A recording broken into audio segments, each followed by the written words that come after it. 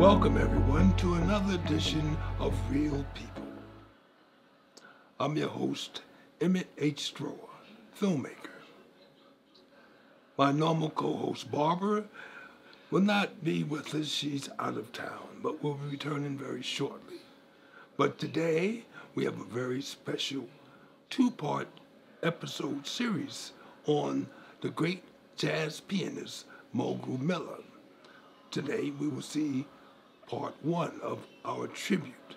I met Mulgrew Miller in 2009 uh, through his publicist and filmed him in live performances several times a year when he came to New York.